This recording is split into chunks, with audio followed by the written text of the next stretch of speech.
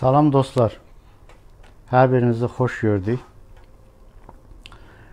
Bu Eldar Həsənovun vurulması ilə bağlı yəni beynimə bir fikir gəldi. Dedim o fikri sizlərlə paylaşım. Çünki Eldar Həsənov keçmiş ölkəmizin baş prokuroru cəmiyyətdə bir mənalı qarşılanan bir sima deyil. Yəni bir qismi onu e, belə götürək, millətə yaxın bir qismi e, yəni e, Əliyev iqtidarının digər yarıtmaz və rüşvətxor e, məmurlarından heç də e, fərqli olmayan bir məmur olduğunu söylüyor. Lakin Eldar Həsənovu yaxından tanıyan bir çox e, insanları mən tanıyıram. E, Eldar Həsənov e, onların onlardan duyduğum zaman e, Eldar Həsənovla bağlı onlar e, hesab eləyirəm ki, Eldar Həsənovu kifayət qədər vətənsevər, e, e, belə götürək, millətinə dəyər verən, e, milli qüvvəyə, e, milli düşüncəyə yaxın bir e, mövqedə olan bir insan olduğunu hər kəs söylə, söylüyor. E, ona görə də mən e, Eldar e, Həsənovla bağlı e, belə götürək, çox da böyük məlumatım yoxdur, amma onun haqqında müəyyən bir fikir e, yürüdə biləcək bir e, bilgilərə e, sahib olduğum üçün belə bir fikirləri də sizlə paylaşmağı özümdə borc bilirəm. Dostlar, 1993-cü ildən və əsasən də Əliyevlərin iqtidarı möhkəmləndirdiyi 95-ci il mart hadisələri, Amon hadisələrindən sonra baxıb Əliyev iqtidarının məmur nomenklaturasına baxdığımız zaman baxarıq ki, yəni həqiqətən də orada ölkəni idarə edə biləcək, yəni hal-hazırki dövlət başçısı İlham Əliyevdən heç də geridə qalmayan bir çox xarizmatik məmurlar mövcud olubdu. Şəxsən bəyənməsəm də oturuşuna, duruşuna, xalqa olan münasibətinə görə e, indiki e, Əliyev rejimindən daha çox e, xalqına xidmət edə biləcək həm də xarizmatik bir şəxsiyyətdən, siyasi şəxslərimizdən birisi olan Rəsul Quliyev olsun, birisi ki 96-cı ildə mart hadisələrində o vaxtki mərhum Heydər Əliyev Rəsul Quliyevi mart hadisələrində Röşən Cavodova qarşı böyük bir formada istifadə elədi. Və 96-cı ildə də ondan e, artıq e, e, hesablaşdı və Rəsul Quliyev 96-cı ildən ölkəni tərk etdi.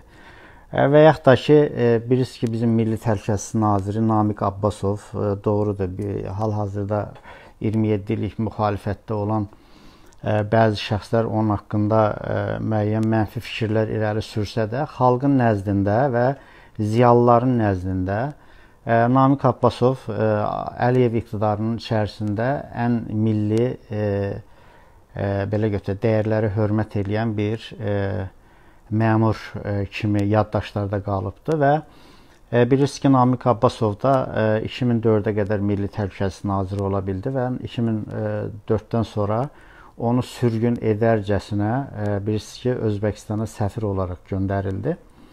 Və eyni zamanda e, Eldar Həsənov e, bilirsiniz ki, 1995-ci ilin mart hadisələrinin o Amonla bağlı hardasa minə yaxın Amonçu və Amon hadisələrində iştirak eləmiş yüzlərcə sivil insanların Respublika prokuraturasında xüsusi istintaq qrupu yaranmışdı və e, o vaxtı e, Eldar Həsənov Respublika prokuroru təyin olundu və o 95-ci ildən 2000-ə qədər Respublika prokuroru oldu və o müddətdə də e, hesab eləyirəm ki, e, 2000 e, 2000-lərə qədər e, prokuror prokuror olduğu müddətdə, Respublika prokuroru olduğu müddətdə e, məsələn AMON-la bağlı onun haqqında ittihamlar var ki, o AMONçulara daha çox e, işgəncələrin verilməsi, o AMONçulara e, aid xüsusi qəddarlığın həyata keçirilməsində Eldar Həsənovun böyük rolu olmuşdu. Mən o vaxtı 1996-cı ilin sonlarından 2003-ə qədər Amonçuların hüquqları müdafiə cəmiyyətinin sədri olaraq mən bu hadisələrin içində olduğum üçün qəti formada deyirəm ki, Eldar Həsənov nəinki amonçulara işgəncə verilməsi və yaxud da ki, amonçulara qarşı hər hansı bir xüsusi qəddarlığın həyata keçirilməsində rol oynamışdı. Əksinə, ə, əksinə ə, Eldar Həsənov ə, amonçulara qarşı ə, orada istintaq qrupu yaranmışdı və istintaq qrupunun bildiyiniz kimi rəhbəri o vaxtı ə, Respublika prokurorunun müavini idi hər halda. Ə, İsa ə, İsa adında ə, bir prokuror idi əslən Yezidi kürdü. Amonçulara o xüsusi yaranmış komissiya və ora tərkibinə daxil olmuş polislərin xüsusi vəhşiliyi Amonçulara qarşı Eldar Həsənov tərəfindən deyil, İsa Nəcəfov tərəfindən o istintaq qrupunun rəhbəri prokuror İsa Nəcəfov tərəfindən həyata keçirilirdi. Yəni Eldar Həsənov əksinə məndə dəqiq məlumatlar var ki, bir çox amonçunun axtarışda olan amonçulardan tutun içəridə olan amonçulara qədər gizli və açıq formada onların da hüquqlarının müəyyən mənada müdafiə olunmasından tutun onlara daha yüngül cəzaların verilməsinə qədər bir çox səylər göstərmişdi, amma Bildiyiniz kimi orada Eldar Həsənov baş prokuror olsa da Eldar Həsənovun özünü nəzarət edən İsa Nəcəfov adında bir kürd kökənli bir prokuror ora təyin olunmuşdu. Yəni Eldar Həsənovun heç də baş prokuror kimi çox böyük səlahiyyətləri yox idi. Və yaxud da ki, gözümüzün önünə Əli İnsanovu götürsək, gətirsək, Əli İnsanov da bilirsiniz ki, 2005-ci ildə dövlət çevrilişinə cəhdə günahlandırılaraq ə, e, həbsə atılmışdı. Ə, e, dövlət çevrilişinə cəhd maddəsi ilə. Ə, e, bu siyahına ə, baxdığım zaman Rəsul Quliyev, Əli İnsanov, ə, Namiq Abbasov və Eldar Həsənov dostlar bu 4 ə, keçmiş nazirlər Əliyev ə, iqtidarı içərisində mən elə gəlir ki, bu mənim subyektiv fikrimdir. İlham Əliyev də daxil ə, iqtidarda təmsil olan bütün şəxslərin hər birindən daha çox xarizmatik, daha çox dövləti bilən, daha çox iradəli, daha çox ümummilli düşünə biləcək kapasitəsi olan şəxsiyyətlərdir.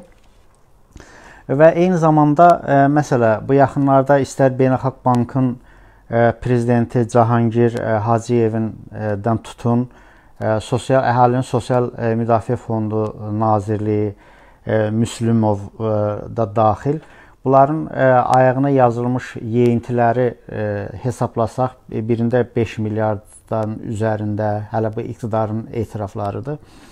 Ə, Cahangir Hacıyevin hardasa 10 milyardlıq bir yeyinti ə, korrupsiya faktı ə, iqtidar tərəfindən elan olunmuşdu. Mən hesab eləyirəm ki, ə, dostlar, bu iqtidarın özünün də elan elədiyi bu milyardlıq yeyintilər hə həyata keçirmiş Cahangir Hacıyevlərdən tutun Müslümova qədər Bunlarla müqayisə eləyin bu Əli İnsanovları, Namiq Abbasovları, Eldar Həsənovları, hətta Rəsul Quliyevin özünü.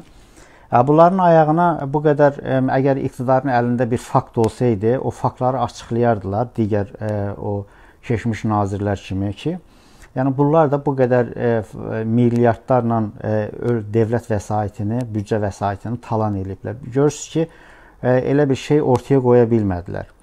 E, mən bu burdan da yola çıxaraq hesab eləyirəm ki, yəni e, həyatda bilirsiniz, ideal heç kim yoxdur, heç kim ideal deyildi. Allahdan başqa ideal heç bir şey yoxdur. Hər kəs e, biri-birinə nisbətən yaxşı ola bilər, faydalı ola bilər, daha milli ola bilər, daha vətənpərvər ola bilər, daha e, belə götürək, e, vətənin milləti üçün idealist bir düşüncəyə sahib ola bilər. E, o nöqteyi nəzərincə mən hesab eləyirəm ki, e, ölkəmizin dostlar, mən açıq e, fikirli bir insanam. E, 1991-ci ilin 20 noyabr Qarakənd üzərində Ayaz Mütəllibovun vurulduğu kadronu götürüm. Professor e, belə götürək. E, o vaxtki ölkənin baş prokuroru İsmət Qayıbov, Daxili İşlər naziri Məhəmməd Əsədov, e, professor e, Tofiq İsmailov və buna bənzər təxminən 10 nəfər Aziz Mütəllibovun əsas o zirvə kadroları vuruldu. Milli dövlətimizin milli kadroları bir dəfəlik belə pencar kimi biçildi sözün əsl mənasında 91-ci ildə.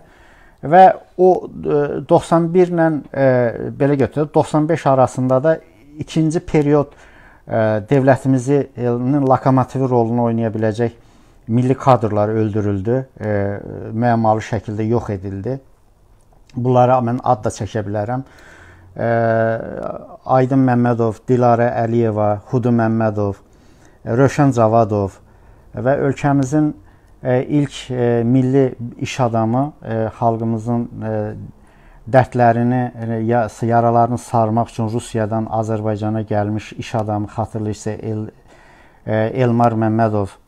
Bunlar hamısı böyük ziyalı Ziya Məmmədov xatırlayırsınızsa. Bunlar hamısı e, yəni çox Fəthullah Hüseynov xatırlayırsınızsa, ağzının içindən güllə ilə vuruldu. Bu da bir ikinci bir parti 91-ci ildən sonra və e, üçüncü parti hesab edirəm ki, iqtidarın öz içində, yəni 1993-cü ildən bu günə kimi davam edən Əliyev iqtidarının içində də sanki belə ölkənin milləti e, tək başına toparlaya biləcək kapasitəsi olan nazirləri və böyük məmurları e, ölkə iqtidarın içində bir beyin mərkəzi bunları vurub e, sıradan çıxartmaqla məşğuldurlar. Yenə deyirəm, Rəsul Quliyev, Əli İnsanov, Namiq Abbasov, Eldar Həsənov. Mən bunları birmənalı şəkildə gözəl insanlar, ə, təmiz insanlar, ə, ləyaqətli insanlar olaraq niteləndirmirəm. Amma mən deyirəm ki, Əliyev ə, iqtidarın içərisində ə, nisbətlə götürsək, bu bundan yaxşıdır məsələsində Mən hesab eləyirəm ki, adlarını çəkdiyim o 4 nazir e, xalqının millətini e, bizdən olandır. Yəni ən birinci növbədə bu həm Rəsul e, Quliyev, həm Əli İnsanov, həm Namiq Abbasov, həm də Eldar Həsənov. Bunların dördü də türk oğlu türkdür. E, bunlar e, vətəni üçün, milləti üçün e, heç bir xəyanət e, e, hadisələrinə göz yummaz və imza atmaz onların altından.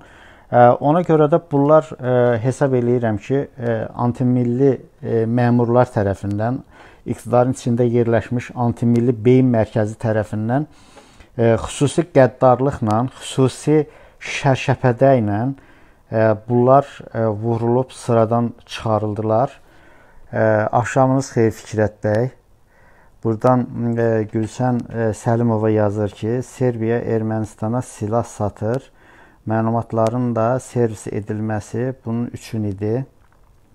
Ola bilər e, Gülşən xanım. Ondan sonra e, e, Eldar e, bəli, Eldar Həsənovu aldadıb Bakıya gətirdilər. Yoxsa e, hesab eləmirəm ki, o öz ayağı ilə bilə-bilə ki, həbs olunacaq. Azərbaycana e, gətirilsin. Əleyhissalam dostlar. Bəli. Mənim fikirlərim bu qədər. Axşamınız xeyir Abbas bəy, Abbas Ustaoğlu. Bir bir sanki belə soyqırım iqtidarın içərisində belə xalqımızın mənfəətini düşünən məmurlara qarşı, kadrolara qarşı amansız bir yıxıcı bir proses gedir. Və bu proses, e, yəni kim belə sağlam bir beyinlə düşünürsə, e, məsələn, nəyə görə e, Müdafiə Nazirliyində e, qərargah rəisi Nəcməddin Sadıxov bütün millətin, bütün ziyalıların, bütün ordu, ordunun böyük e, komandirlərinin, komutanlarının mənfi rəyinə baxmayaraq Nəcməddin Sadıxov niyə işindən azad olunmur? Bax mən sizə sual verirəm dostlar.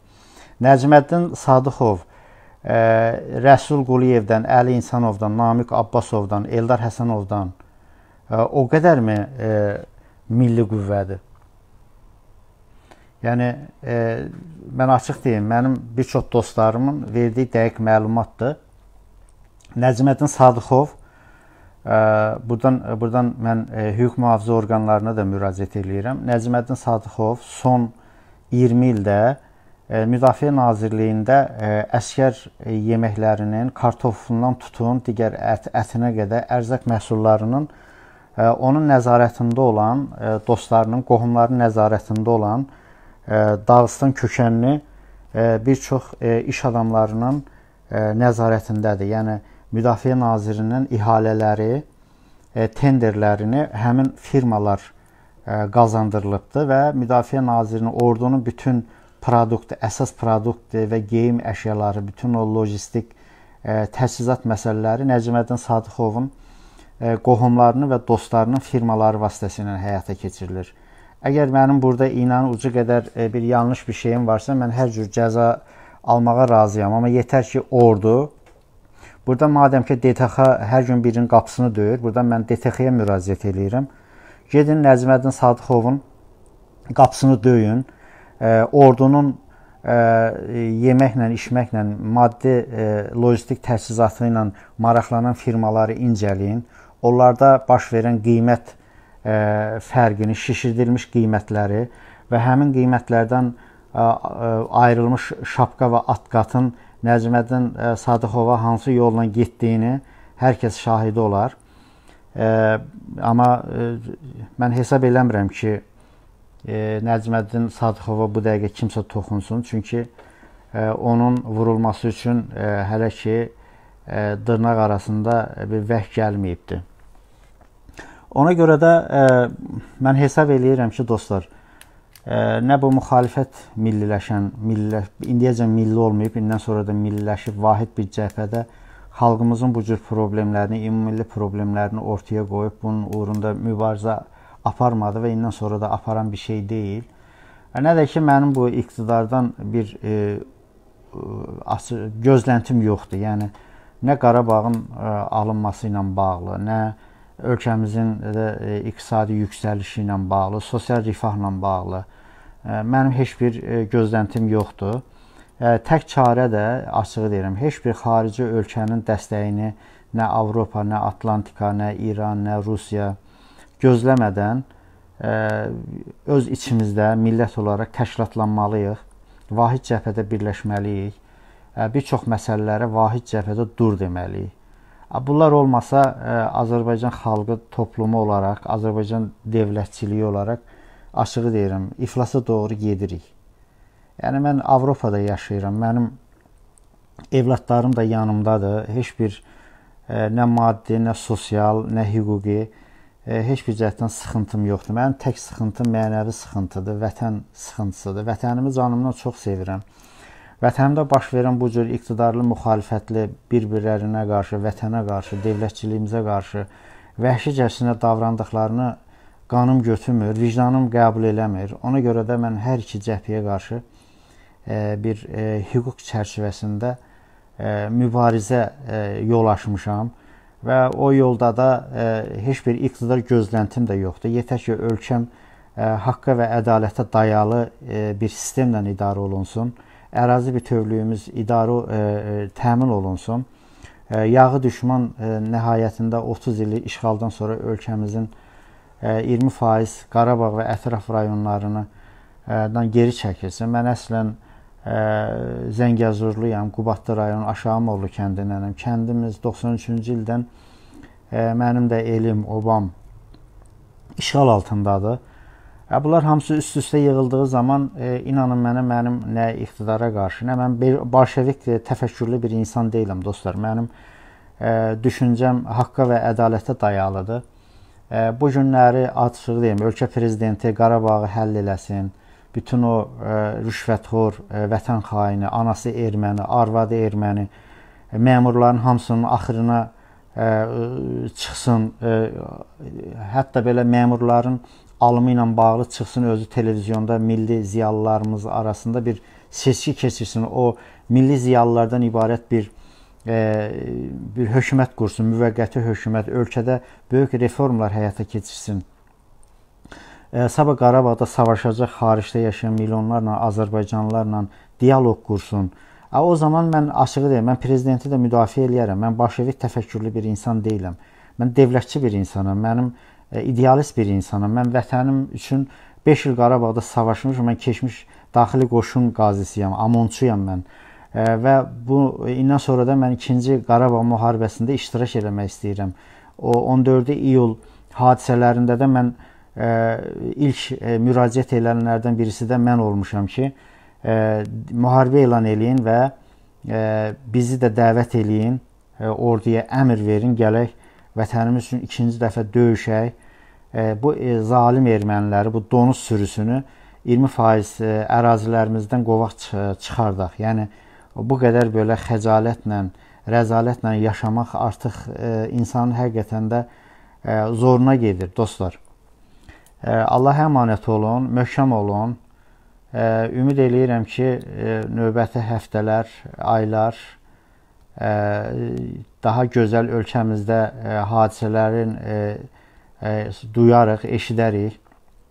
Daha rifahla, daha ümidli formada əl-ələ verib ölkəmiz üçün nə edə bilərik sualı ətrafında millətin vətənpərvər, vətənsevər evlatları olaraq bir araya gələrik və vətənimiz üçün faydalı işlər görərik. Gecəniz xeyrə qalsın. Allaha əmanət olun dostlarım.